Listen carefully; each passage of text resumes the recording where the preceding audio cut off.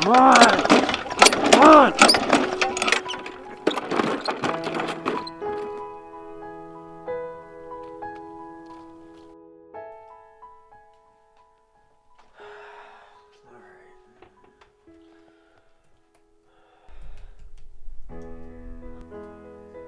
Is this all paperwork?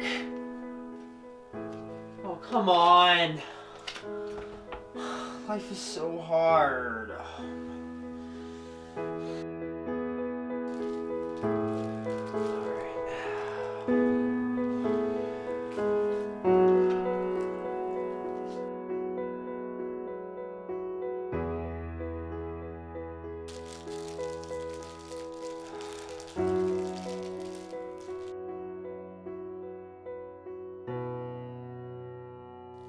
internet? What do you mean no internet? Ugh.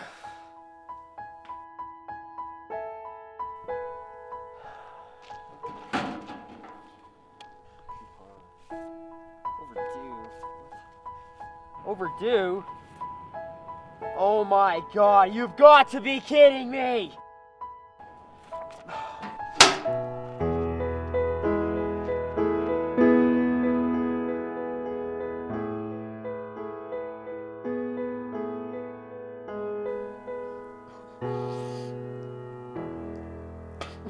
So hard.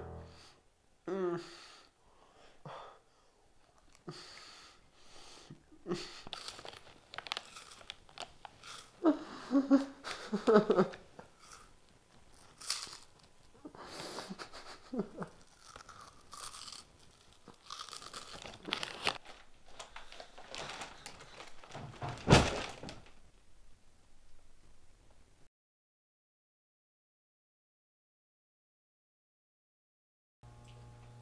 Listen, this won't be easy.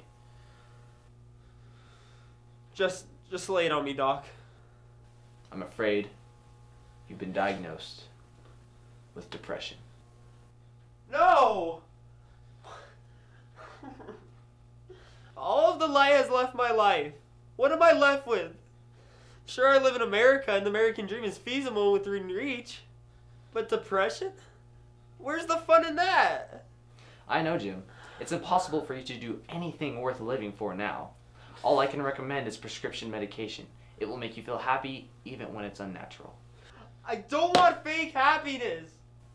But think about it a life without any happiness? I wouldn't wish that on my worst enemy, would you? Apparently, I am my worst enemy. I'm making myself miserable and I don't know why.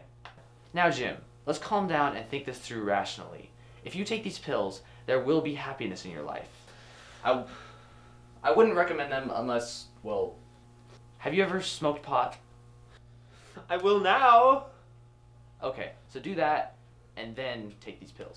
We should be good to go. Here's your prescription.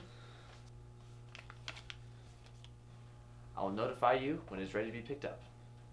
How often will I have to refill? About once a month. So I can't go if it's just half full, even if I really need to get out the house? Nope. The bottle has to be completely empty before you take these.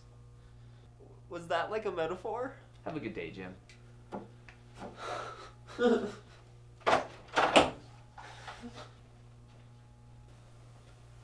Just because your life isn't filled with happiness every second doesn't mean you're depressed.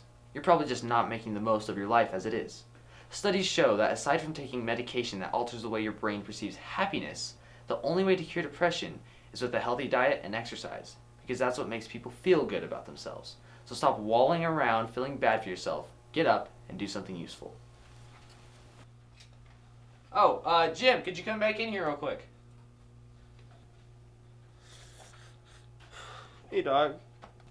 Hey, Jim. So it seems that I misread your symptoms. It was my previous patient that had depression. So I don't have depression? Nope.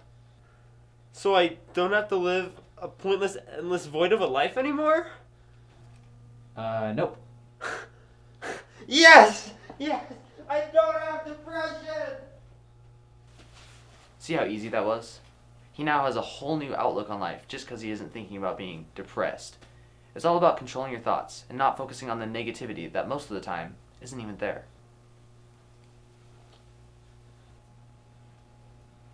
Oh, hey, Matt, come on in. How's it going? Pretty good. Great. Okay, so the results finally came back from your brain scan. Uh, the activity is a little bit unpredictable still, but we'll just keep you on the medication for about another half year and we should be in the clear. Sounds good. Are you remembering to always think something positive before negative? Yeah, I try.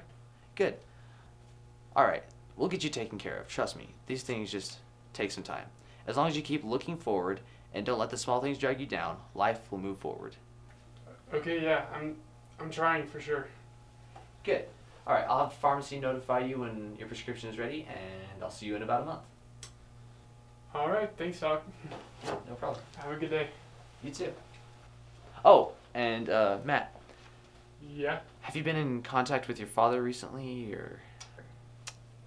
No, I've cut him out of my life. Makes it a lot easier. Oh, okay, good.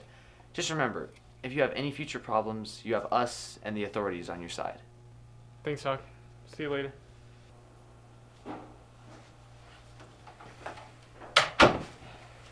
Clinical. Not a choice, but a problem reasonably solved. He doesn't want to be depressed, but his brain is constantly telling him that there's something wrong. His father greatly influenced him by telling him that he wasn't worth a life and nearly beating it out of him. And that's what I'm here for. Not these sad sacks who decide that their easy little life is too hard and they want medicine to make them feel okay. Get up, do something useful, and don't complain until life has truly put you through the worst. Say you were abused as a child. That is truly horrible. But there's always hope. Seek out a trusted source, the truest, the Bible. It says right here in Psalm 42:11, "Why are you downcast, O my soul? Why so disturbed within me? Put your hope in God, for I will yet praise him, my Savior and my God." And in 1 Peter chapter 5, verses 6 through 7, Humble yourselves, therefore, under God's mighty hand, that he may lift you up in due time. Cast all your anxiety on him, because he cares for you. As seen here, depression is even mentioned in the Bible. There's a definitive answer here. So if you're feeling negative or down on yourself, give it to God and live out the life that he has given you.